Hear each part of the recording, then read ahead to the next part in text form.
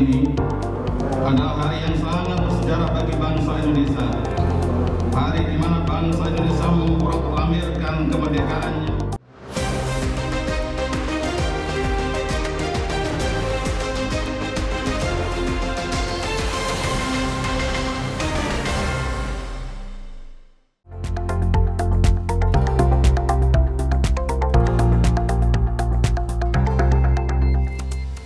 Ponpes Al Ubaidah dan SMK Budi Utomo Kertosono Nganjuk, Jawa Timur melaksanakan upacara hari ulang tahun ke-78 Republik Indonesia pada Kamis 17 Agustus 2023.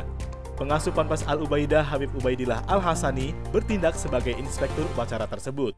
Allah Ta'ala berhasil meraih kemerdekaan dan menjadi bangsa dan negara yang berdaulat, yaitu negara kesatuan Republik Indonesia.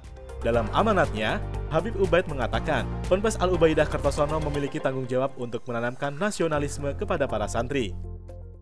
Sebagai tanda syukur untuk mengungkapkan rasa syukur lahir dan batin terhadap kemerdekaan, eh, di mana jasa para pahlawan ini luar biasa yang telah mengorbankan segala-galanya, baik tenaga, pikiran, bahkan nyawa.